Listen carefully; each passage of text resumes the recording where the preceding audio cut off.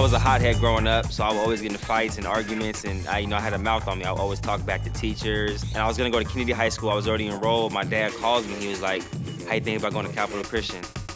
And I was like, "Man, I don't want to go there because you know, a private school. I wanted to be in public school with my friends." He's like, "I think it's best for you."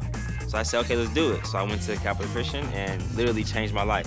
Marcelas Perry started attending CCS in 2010. Playing basketball at Capital Christian, you know, I met my brothers. You know, like we don't call each other friends, we call each other brothers. Like we established a brotherhood at Capital Christian with our basketball team. I feel like personally, no other school, or I mean, no other class in Capital history had the chemistry and the team camaraderie that we had.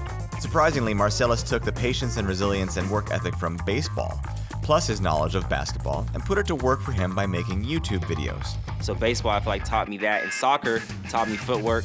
Football taught me tenacity, and then basketball just taught me life. So oddly enough, Capital Christian School prepared Marcelas for his career as a YouTube sensation. Like a thing when I was a kid, I used to always love dancing in front of people, cracking jokes. And then I would always wonder why basketball would never work out the way it did, because I loved it so much. But God had a different plan on me. He said, entertainment is your path. Use basketball as a tool for your entertainment.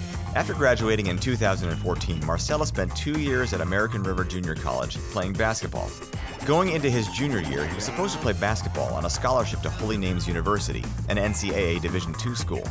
But just before his junior year, Marcelas broke his ankle during a basketball practice. So I've, I've had a few major setbacks. A setback to me is not a setback. I feel like it's a setup. God setting me up for my next goal, my next plan in life.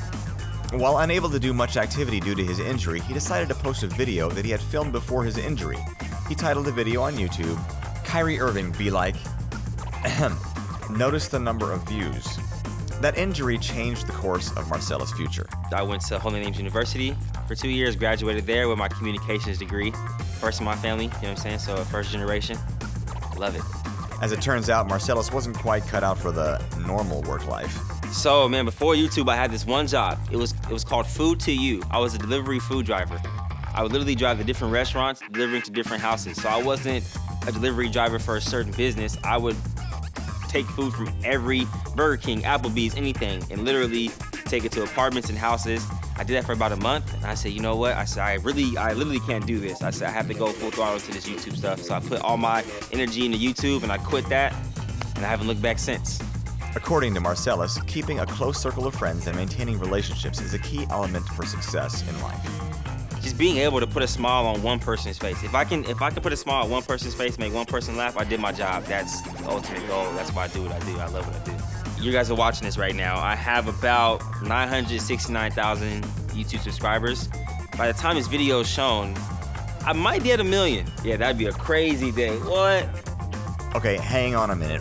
We have to check. How many subscribers does he have now that we're actually watching this video? Let's check. Oh snap, he's reached it. Folks, join with me in congratulating Marcelas Howard, the backyard legend, on reaching 1 million subscribers.